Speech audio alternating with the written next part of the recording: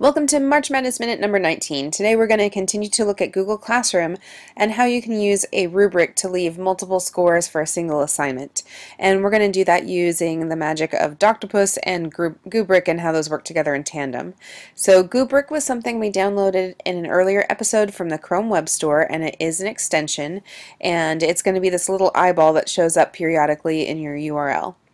Um, Doctopus is something we're going to add on to Google Sheets today, and we'll look at how to leave those multiple grades without a single assignment, and how you can um, leave that record for students to access, as well as have a record of those grades yourself, and you can even leave audio feedback. So to start with, I'm going to go to my Google Drive, and I'm going to, let's see, I'll create a spreadsheet and we'll call this uh, Colony Gradebook. And if you haven't done so already, you're going to want to click on Add-ons, Get Add-ons, and Add Doctopus. Once you add it, it's going to be listed, and you can go ahead and launch it. So now I can select my roster and Earlier in the year, we had to write all the student names down, export from Skyward, run some little formulas, but now it's really easy. I can go to ingest Google CR, means classroom assignment. So it's automatically going to pull all of my student information and links to their work.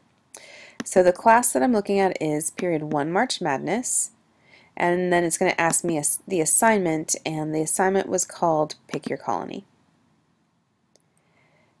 and it says I don't have anybody that's turned it in but I have one person that's still working on it and that's fine. You can be grading it as students work on it and I'm going to ingest the assignment and things will automatically show up over here.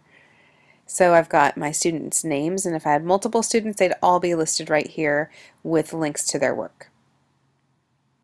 Um, so before so now I've got the student work I need the rubric.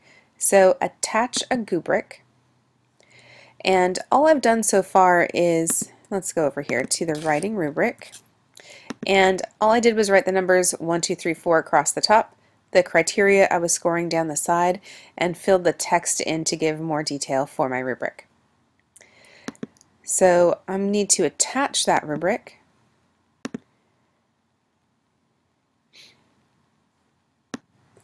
And you can see I have some extra settings here if I wanted to refresh if more students have turned in their work, if I wanted to have a co-teacher so we can grade these together.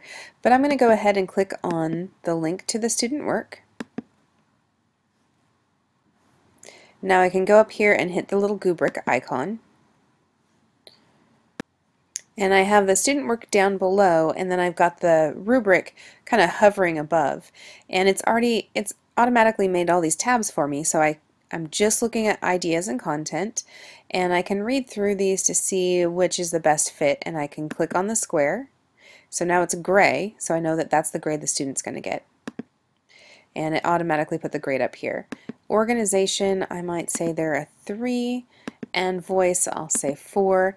And then I could type comments here. Oops. Or I can continue to add in the comment types that I did earlier, those little comments that show up like post-it notes.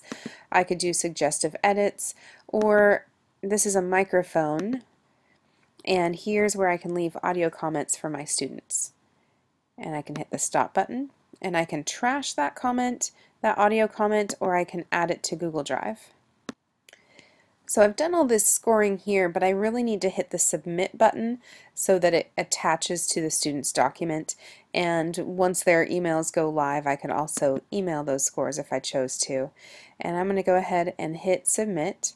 If I had multiple students, I could hit next and see the next student's work and everything would be ready to go for grading there as well.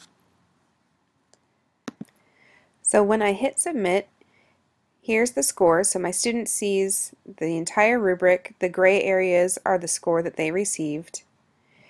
And then any typed comments go down below and now they also have a link to hear my audio comments.